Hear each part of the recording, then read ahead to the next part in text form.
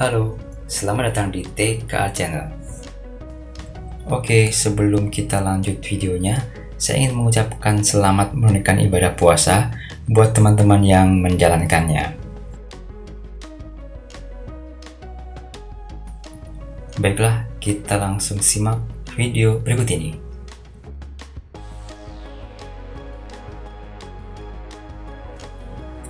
Nah, seperti biasa, sebelum kita melihat lebih jauh detailnya, saya akan memperlihatkan bahan-bahan atau barang-barang yang biasa saya gunakan. Saya menggunakan kancing, juga manik-manik, baik yang dari kayu ataupun dari plastik.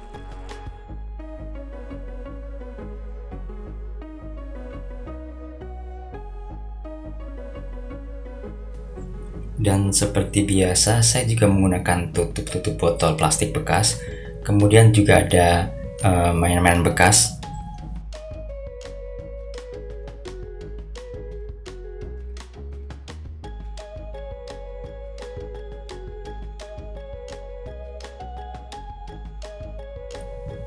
Oke, untuk melihat detailnya, kita akan lihat video berikut ini.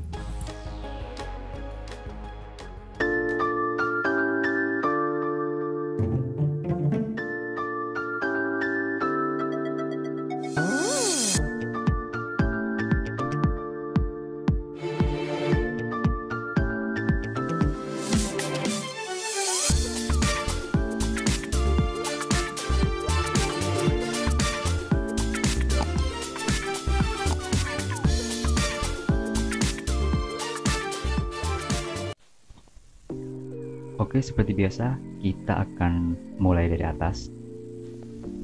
Di sini kita bisa lihat berbagai macam barang ya. Ya, mulai dari tutup-tutup botol bekas, kemudian juga ada mainan-mainan bekas, kemudian juga ada manik-manik,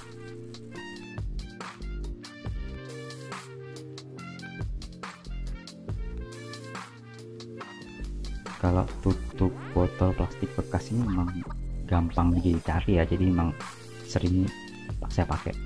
Kemudian juga ada tutup gelas kemudian itu ada apa tuh untuk yang correction itu ya?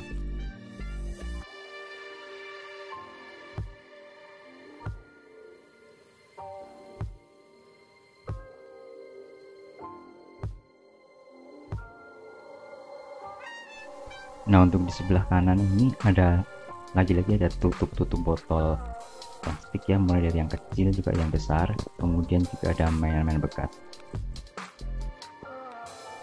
Dan ini adalah bagian wajah bagian yang uh, istilahnya menjadi paling penting ya.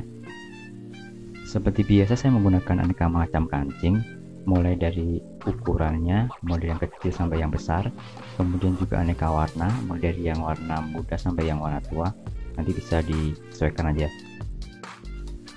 dan saya juga menggunakan aneka manik-manik mulai dari ukuran yang kecil sampai ukuran yang sedang dengan berbagai macam warna juga.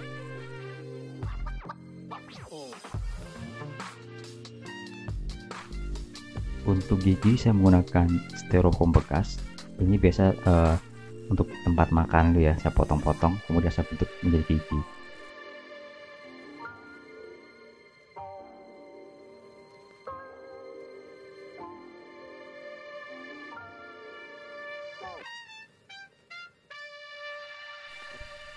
dan ini adalah untuk bagian baju atau di bagian bawah. Nah untuk di bagian ini saya menggunakan aneka macam barang. Saya menggunakan seperti manik-manik mainan-mainan bekas juga tutup botol plastik. Pokoknya eh, barang-barang uh, yang sekiranya bisa kita manfaatkan kita manfaatkan nah kita bisa lihat juga sendok plastik ada jepitan juga kemudian ada kancing. Jadi semakin banyak jenisnya itu akan semakin kelihatan menarik dan semakin unik.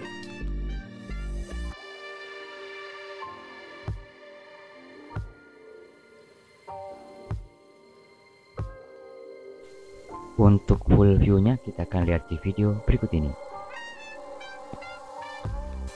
dan ini adalah full view dari lukisan kanjeng atau mix Miriat Ganjar Pranowo ukuran 40 x 50 cm buatan tahun 2021 dan seperti biasa kalau kalian suka kalian bisa klik tombol like atau kalau kalian mau tanya-tanya bisa tulis di kolom komentar atau di share juga boleh.